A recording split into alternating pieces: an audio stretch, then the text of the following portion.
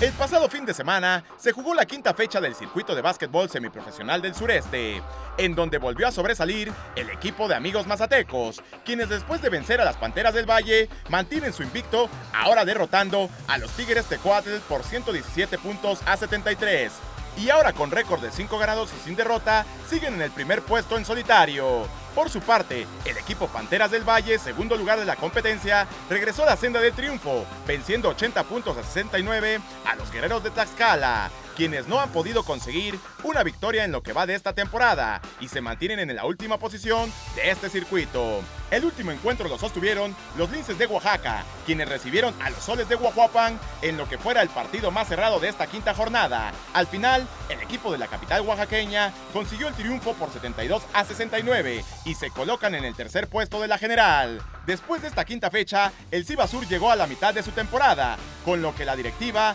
anuncia que para este fin de semana se realizará el juego de estrellas, pero hasta el momento solo comentaron que el duelo de mitad de temporada se efectuará en la capital oaxaqueña, aún con horario y duela por definir. Informó para MBM Deportes Pablo Vázquez.